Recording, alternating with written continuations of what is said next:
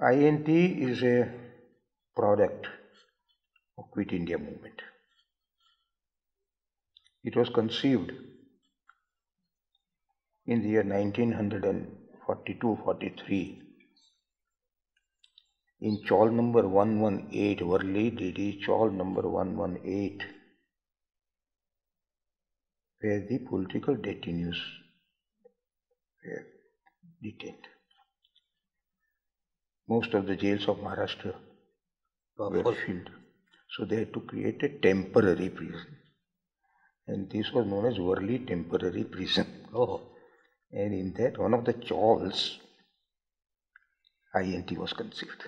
mhm. In the sense कि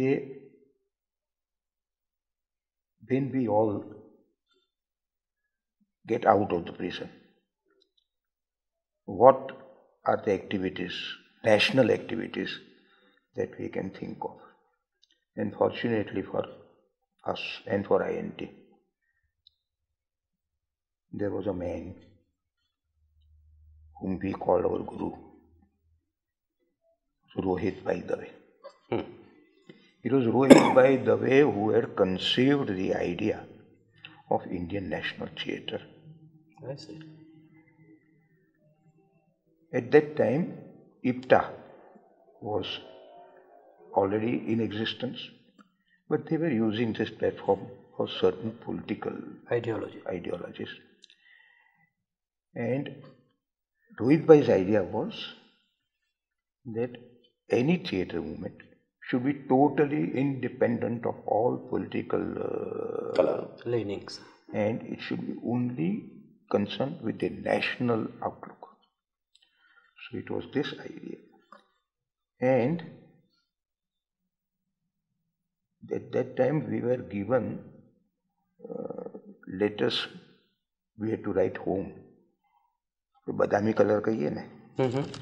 ये जातना it, that type of uh, letterheads were distributed and it was on that uh, letterhead that the first manifesto Of INT. of Indian National Theatre was written in the hands of Rohit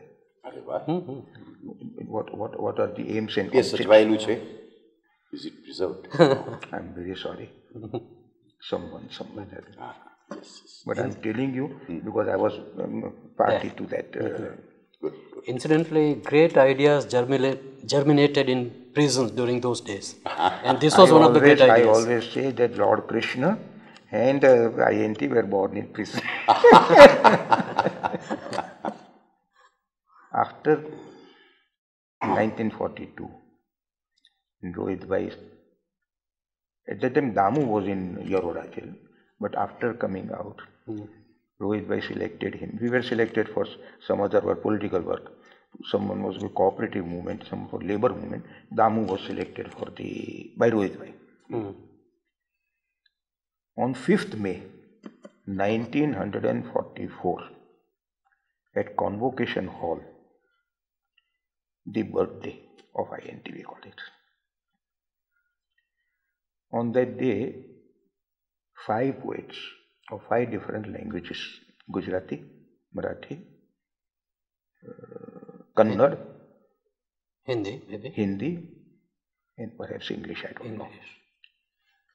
Five languages were represented on that particular day. And the founder president of INT was Kamala Devi Chattopadhyay. Mhm. Kamala Devi Chattopadhyay presided mm-hmm. over that. And why was 5th May selected by INT was it happens to be Iqbal Day.